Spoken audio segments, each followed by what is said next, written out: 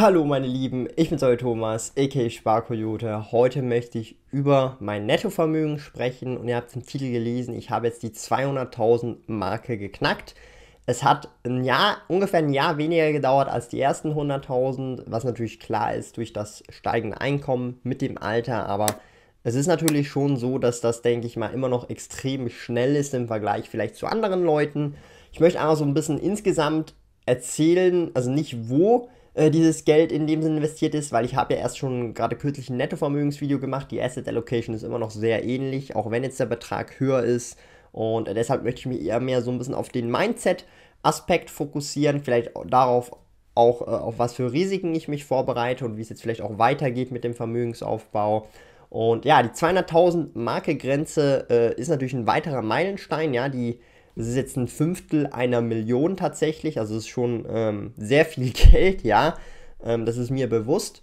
Und ähm, es ist natürlich jetzt auch so, dass äh, die Leute, die jetzt mein Einkommen auch verfolgt haben, habe da ja Einkommensreport jetzt jeweils gemacht, äh, seit längerem schon, ähm, haben natürlich gesehen, dass das Einkommen deutlich schnell gestiegen ist, ja, und eigentlich im ersten Halbjahr ähm, erstmal so ein bisschen aufgebaut werden musste. Und also ich habe etwa ein halbes Jahr gebraucht, bis ich diesen Break-Even-Point erreiche. Und danach ist ja das Einkommen extrem schnell auch gestiegen. Und ähm, deshalb habe ich eben jetzt schon diese 200.000 Schweizer Franken an Nettovermögen erreichen können.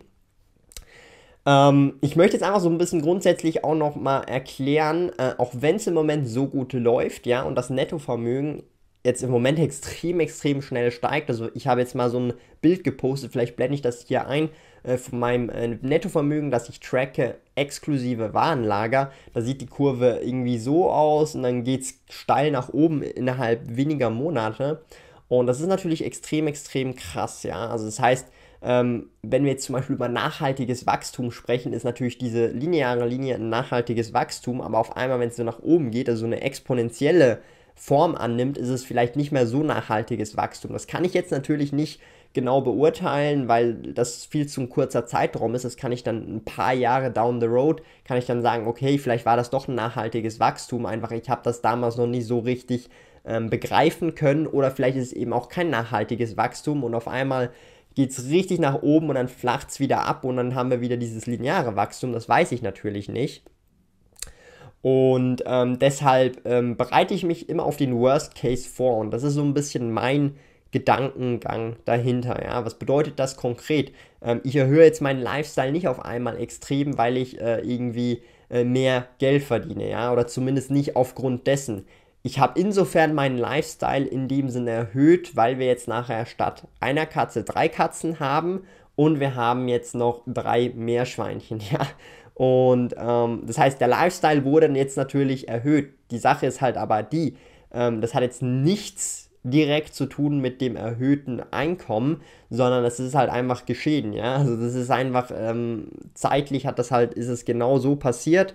Und das ist, ist jetzt halt so passiert, ja. Und äh, in dem Sinn sind das natürlich wenige, sag jetzt mal, 200, 300 Franken, die mich das pro Monat jetzt langfristig gesehen wahrscheinlich teurer werden lassen, ja, zum Leben, ja, weil, ich, weil wir jetzt halt einfach mehr Haustiere im Haushalt, mehr Familienmitglieder in dem Sinn haben, äh, aber das sehe ich gar nicht so eng. Andere Ausgaben wie äh, Essen gehen, ähm, privat mir Dinge kaufen, die sind immer noch auf, einem, auf einem sehr gleichen oder ähnlichen Niveau geblieben. Klar gibt es mal einen Monat, wo ein bisschen mehr, mal ein bisschen weniger, aber so der Durchschnitt ist immer noch auf einem gleichen Niveau. Das heißt, ähm, ich versuche mich eben auf, auf magerere Zeiten vorzubereiten, in dem Sinn auch, äh, indem, indem ich halt nicht meinen Lifestyle exorbitant nach oben pushe, ja, also eine Lifestyle-Inflation vermeide. Aber im Umkehrschluss, und das ist das Coole und da bin ich auch sehr happy drüber, ich brauche diese Lifestyle-Inflation in dem Sinn gar nicht. Ähm, und wenn, man kann jetzt vielleicht auch Lifestyle-Inflation sehen, dass wir jetzt halt ein paar mehr Tiere haben und dann habe ich halt 200, 300 Franken pro Monat für mich persönlich mehr und für meine Freundin auch, weil wir es ja durch zwei teilen können, ähm, mehr an Fixausgaben pro Monat. Ja, shit happens, ja. Dann gebe ich halt statt 2000 Schweizer Franken 2200 bis 2300 aus. Und hier muss man dann auch bedenken, in diesen 2000 Schweizer Franken sind ja auch schon 420 Franken Steuern mit eingerechnet, die ich jeden Monat zahle. Und ich habe jetzt halt gemerkt, Steuern ähm, wird wahrscheinlich mehr werden als diese 420, die ich da damals eingeplant habe.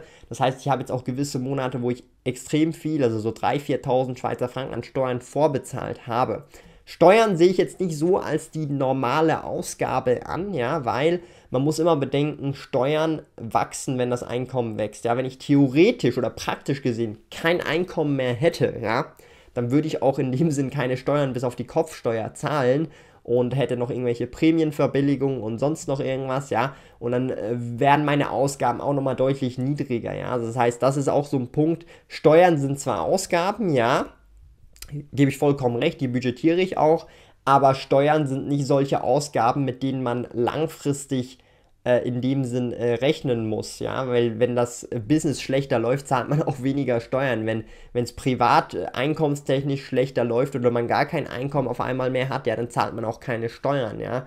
Ähm, solange man halt diese Rücklagen gemacht hat und keine Schulden bei den Steuern hat, ist alles in Ordnung im Lot und darum auch wieder eine Vorbereitung für mich, damit ich auch zum Beispiel nicht irgendwie in die Gefahr komme, dass ich zum Beispiel riesige Steuerrechnungen nachzahlen muss, ja.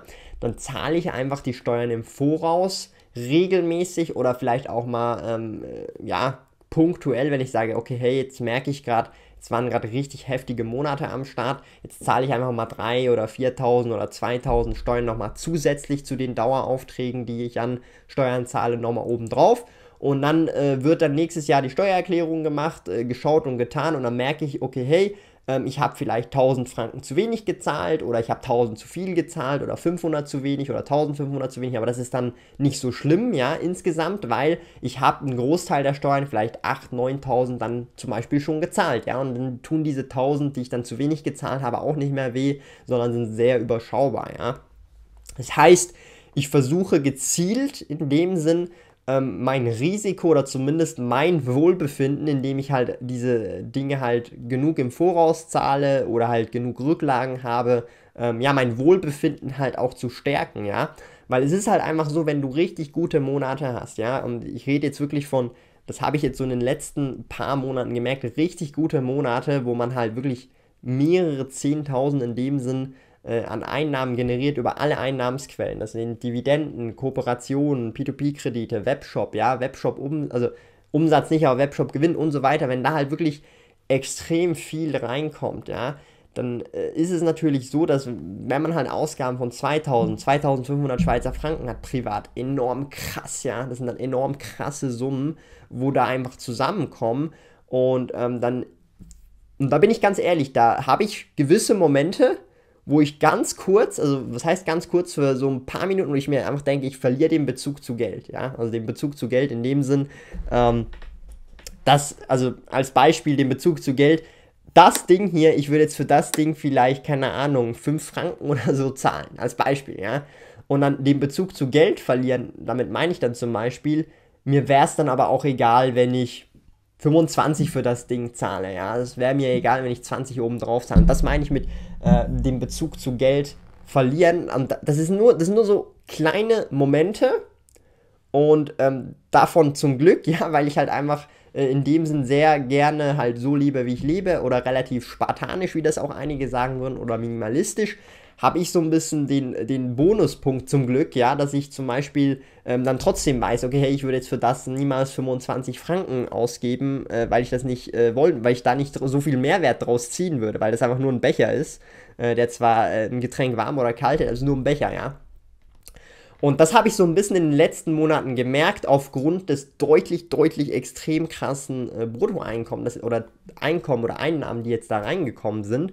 Und ich versuche mich halt da auch immer wieder bewusst zu erden und mir jetzt einfach zu sagen, hey, ähm, das ist jetzt im Moment einfach eine gute finanzielle Zeit. Es kann aber auch mal schlechter laufen, ja. Und man muss halt immer so ein bisschen überlegen, wie man wirtschaftet, ja, sowohl privat als auch im Geschäft, also im Business, ja. Und ähm, zum Beispiel, wie ist es in meinem Webshop-Business, ja? Da ist im Moment tatsächlich so, äh, ein Teil des Cashflows, das halt reinkommt, das pumpe ich halt immer schön in den Webshop, ja. Ähm, als also es ist nur ein Beispiel, ja. Ähm, nehmen wir an, es kommen 10.000 Schweizer Franken rein, ja.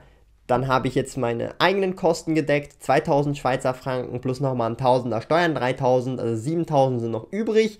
Dann ähm, habe ich noch den Geldmagneten, dann sind noch 6000 übrig und dann haben wir eben diese 6000 übrig. Jetzt würde ich noch sagen, okay, nehmen wir 3 oder 4000 Schweizer Franken davon und stecken das ins Webshop-Business und damit kann ich Waren kaufen. Den Rest lassen wir noch irgendwo Cash liegen oder ich kaufe damit Aktien Entschuldigung, oder was auch immer, ja.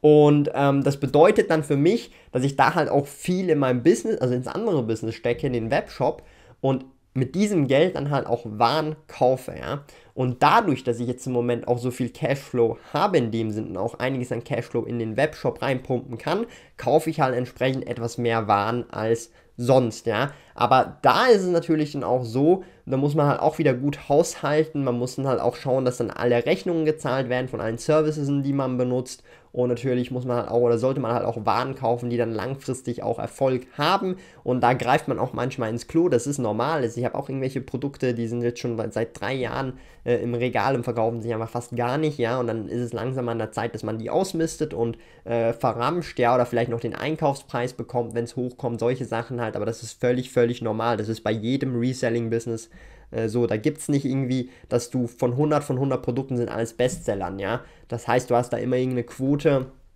wo, wo du halt ins, ins Klo greifst, ja. Und ähm, das ist halt auch mit Erfahrung gekoppelt. Aber das heißt grundsätzlich, ähm, ihr seht also die, die Situation, die ich im Moment habe, auch wenn ich jetzt ein deutlich höheres Nettovermögen habe als jemals zuvor, ja, also das heißt, ich hatte noch nie so viel Nettovermögen wie bis dato und es wächst weiter. Das sprich, jeden Monat hatte ich noch nie so viel Nettovermögen wie zuvor, ja. Ähm, es zeigt mir halt einfach, dass zwar dieses Nettovermögen da ist, investiert ist grundsätzlich oder halt auch teilweise als Cash da ist, aber trotzdem ähm, ich mich davon nicht irgendwie verleiten sollte ähm, oder mich in eine falsche Sicherheit wiegen sollte, ja. Das heißt immer noch, ähm, also es gibt, ich weiß nicht, wie das Sprichwort geht oder ich habe einfach, oder vom Kontext her, ich habe es mal so gehört, man sollte einfach immer so wirtschaften, ähm, wie man es auch tun würde, in dem Sinn, ja, wenn man nur wenig Geld hat. Was ist damit gemeint? Ähm, dass man halt einfach de, den, best oder den besten Return für den Dollar oder für den Franken bekommt. Ja, unabhängig davon, ob man, ob man jetzt gerade ultra gute Zeiten hat, wo richtig das Geld einfach äh, man angeschmissen bekommt, ja. Man sollte den Dollar oder den Franken immer so verwenden, dass er äh, trotzdem gleich effizient ist, egal wie viel man gerade verdient. Ja, nicht, dass man ab einem gewissen Punkt, wo man extrem viel verdient, sich sagt, ja, es kommt eh so viel Geld rein, ähm, ja, scheiß drauf, wenn wir irgendwie 20% weniger Gewinn machen, aber ähm, ja, also klar, es gibt da so eine gewisse Balance und so weiter und klar, es gibt individuelle Fälle, aber grundsätzlich bin ich schon so der Meinung, dass, dass die Effizienz dieses Geldes oder dieses Kapitals doch schon ähm, genauso gut genutzt werden soll, wenn viel Einkommen da ist, viel Cashflow da ist, genauso wie wenn wenig Cashflow da ist, weil ähm, das garantiert halt auch so ein bisschen, dass man halt auch immer die Edge oder an der Edge ist, ja, weil sonst wird man langsam so bequem und dann macht man nichts mehr Neues und dann äh, stagniert man, ja. Und ähm, das ist das, was man halt vermeiden, oder in meinen Augen, was ich vermeiden will für mich, ja, weil ich habe auch ab und zu so ein bisschen gemerkt, und da bin ich ganz ehrlich, ähm, und das hat jetzt nichts damit zu tun, dass ich jetzt äh, eine Woche krank gewesen bin. Das war natürlich jetzt nicht so geil. Ähm, das ist, ich wünsche niemandem, dass er krank wird, ja, aber ich hatte da halt wirklich eine Erkältung, Husten, Grippemäßige Symptome, äh, fast eine Woche lang. Aber davor hatte ich auch schon so Momente oder so Wochenenden, wo ich mir eigentlich normalerweise, wo ich da eigentlich arbeiten würde oder wirklich äh, Gas geben wollen würde oder einfach arbeiten würde und mir einfach gesagt habe, hey, ich habe es mir ja eigentlich verdient, jetzt kann ich doch mal auch ein bisschen ähm, ja, mich mal ein bisschen zurücklehnen, mal ein bisschen da das Wochenende genießen, mal das und das machen. Habe ich dann auch gemacht, ja. Ähm, aber es soll natürlich auch nicht übertrieben werden, in beide Richtungen nicht, ja. Und ähm, das ist halt sowas, was ich äh, auch gemerkt habe, dass ich jetzt zum Beispiel nicht immer auch als Ausrede nutzen sollte. Ähm, ich habe es mir ja verdient, ja, jetzt ist so viel reingekommen diesen Monat, jetzt habe ich es mir verdient, jetzt kann ich mir äh, zum Beispiel äh, Freizeit gönnen, jetzt kann ich mir mal so richtig einen Tag Netflix gönnen. Klar, das mache ich alles schön und gut, aber es soll in einem gewissen Maß bleiben und dann auch nicht übertrieben werden. Und dann auf einmal bin ich dann nur noch irgendwie die ganze Woche nur noch am Netflix schauen, ja. Also davon bin ich noch weit entfernt, aber ich meine jetzt einfach grundsätzlich, ja. Und das sind dann also Punkte, wo halt für mich neu ist und äh, ich da auch mit klarkommen muss mit solchen Situationen. Und ich bin auch nur ein stinknormaler Mensch, also genauso wie du.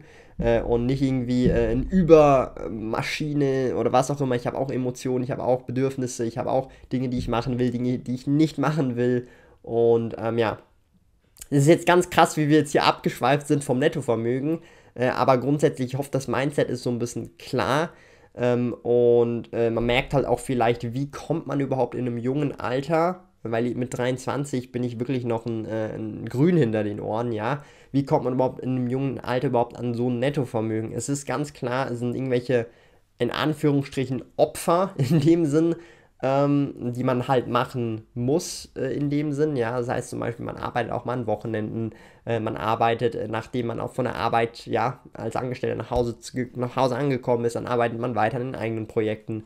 Man hat in dem Sinn weniger Freizeit. Klar, man benutzt die Freizeit ja für sein Business, aber ich meine jetzt mit Freizeit, Freizeit, wo man wirklich abschaltet. Ja, klar gibt es für Leute, die sagen, und das ist auch bei mir oft so, ähm, in meinem Business kann ich auch irgendwie abschalten, ich kann mich konzentrieren, aber ich meine mit abschalten in dem Sinn auch wirklich erholen. Ja, ich erhole mich zum Beispiel, und das ist, ich weiß, wie ich mich erhole, ja, ich erhole mich zum Beispiel, wenn ich Netflix schaue oder irgendwelche Animes schaue oder Mangas, Webtoons, Manwas lese, da kann ich mich echt erholen. Das ist so ein bisschen ähm, richtig cool. Oder auch bei den Büchern, ja.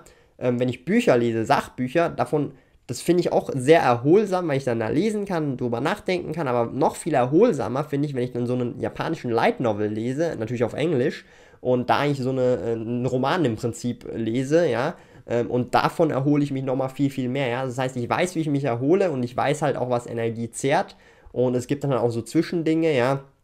Und ich meine jetzt damit nicht, ähm, dass ich mein Business oder das, was ich mache, nicht gerne habe, ja. Aber auch Dinge, die man gerne macht, kostet Energie, weil äh, ihr wisst ja, bestes Beispiel, man hat einen richtig geilen Tag im Europapark, es war alles richtig geil, hat richtig Spaß gemacht, es war erholsam in dem Sinn äh, psychisch, weil du konntest, ah, dies, das, aber am Ende des Tages bist du trotzdem hundemüde und musst schlafen gehen, ja, das bedeutet also nicht, dass Dinge, die man mag und gerne macht, nicht irgendwie nicht müde machen. Ja, es kostet trotzdem Energie und darum ist man auch am Ende des Tages, auch wenn man äh, in den Ferien gewesen ist, ja, trotzdem hundemüde und will einfach schlafen gehen und am nächsten Morgen direkt weitermachen. Ja, und ähm, ja, ich hoffe so ein bisschen, äh, das Video, auch wenn es ein bisschen abgeschweift ist, ihr konntet da irgendwas mitnehmen. Schreibt mir auch gerne äh, in die Kommentare, wie ihr mit eurem Nettovermögen umgeht oder was da so eure Ziele sind, so in den nächsten 5 bis 10 Jahren oder wo ihr heute schon steht, wenn ihr das überhaupt teilen möchtet. Ja, weil ich kann auch verstehen, wenn man das nicht äh, im Internet teilen möchte. Und ansonsten bedanke ich mich gerne fürs Zuschauen bei diesem Video. Gerne Daumen nach oben auch da lassen, wenn euch dieses Video gefallen hat oder im Finanzrudel Community Club vorbeischauen, einfach finanzrudel.ca slash club. Würde ich mich freuen, da diskutieren wir über Aktien, Business und Minimalismus und ansonsten sehen wir uns im nächsten Video. Tschö, Leute.